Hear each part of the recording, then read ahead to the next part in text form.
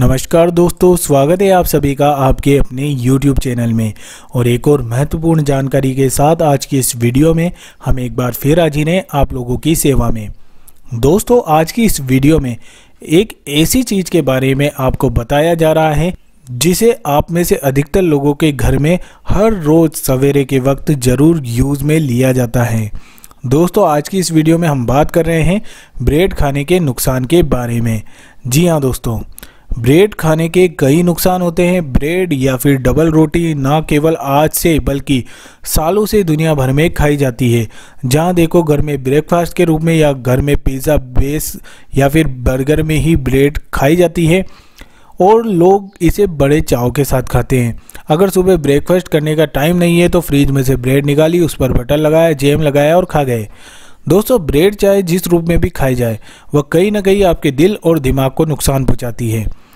तो चलिए दोस्तों, सबसे पहले आपको कुछ क्वेश्चंस का जवाब ज़रूर दे देते हैं, जो इससे रिलेटेड बहुत महत्वपूर्ण क्वेश्चन होते हैं। क्या इससे कोई पोषण मिलता है? दोस्तों, चाहे ब्रेड किसी भी रंग की हो, रूप की हो या फिर आकार की हो, यह आपकी हेल्थ के लिए काफ़ी नुकसानदायक है।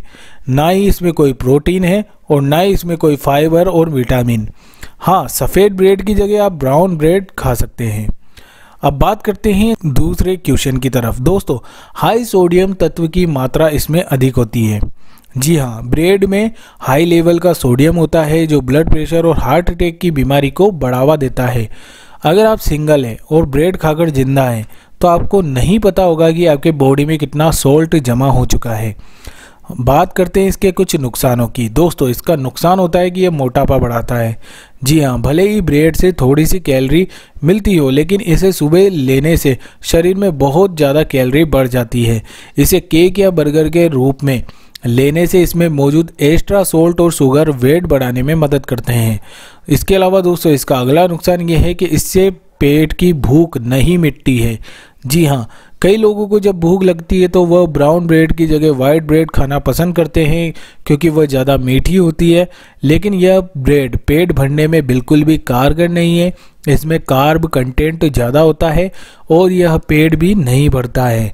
बात करते हैं इसके अगले नुकसान की, जो कि है ग्लूटेन। दोस्तों, ब्रेड में बहुत ज़्यादा मात्रा में ग्लूटेन यानी कि लिस लिसा पदार्थ होता है। जो कि सिलिक रोग को आमंत्रित करता है। ब्रेड खाने से कई लोगों के पेट खराब हो जाते हैं यह ग्लूटेन के कारण होता है। हर किसी को ऐसी प्रॉब्लम नहीं होती है, लेकिन इसका एक साइड इफ़ेक्ट ये भी है। दोस्तों, बात करते हैं इसके अगले साइड इफ़ेक्ट की, जो कि है कार्बोहाइड्रेट की मात्रा ज़्यादा होना। जी हाँ ब्रेड के कई आइटम्स में कार्बोहाइड्रेट मिला होता है।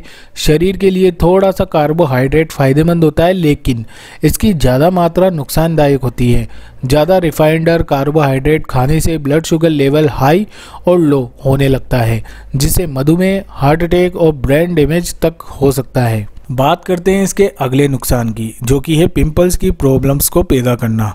जी हाँ दोस्तों वाइट ब्रेड में सेचुरेटेड और ट्रांस फैट होता है, जो कि शरीर में सीबम का अधिक मात्रा में उत्पादन करता है, जिससे मुहासे होने की संभावना बहुत ज़्यादा बढ़ जाती है।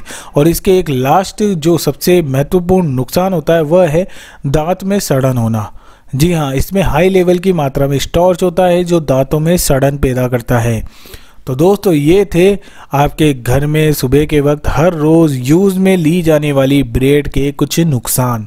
उम्मीद करता हूँ आपको मेरी ये जानकारी अच्छी लगी होगी।